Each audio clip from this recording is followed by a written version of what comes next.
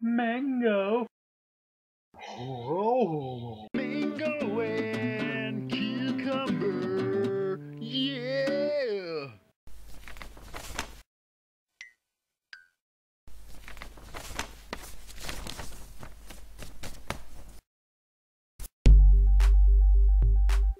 Man, I love this song.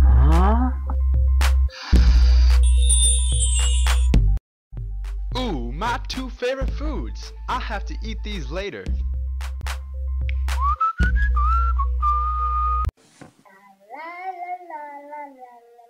I'm so hungry I can explode. There's food on the table. Mom, look, look at my alternate universe transport I made for next week's science fair. That's awesome. What does it do? Well, it's pretty boss, if I do say so myself. You put anything through the transporter's plasma field, and then it, poof, it travels to an alternate universe never to be seen again. That's great. Not going to ask how you made that. Well, it's simple. Mango and cucumber. I hate mango and cucumber. Helen!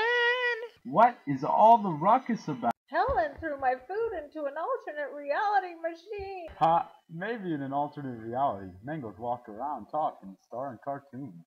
You're a nerd. Hmm.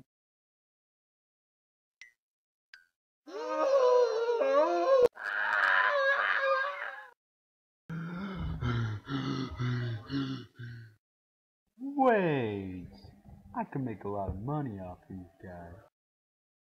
Not again. No, no, no, no, no! You're mine. Wait!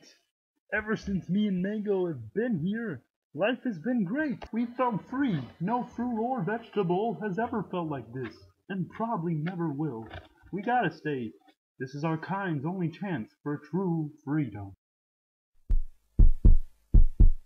I know now what I have to do.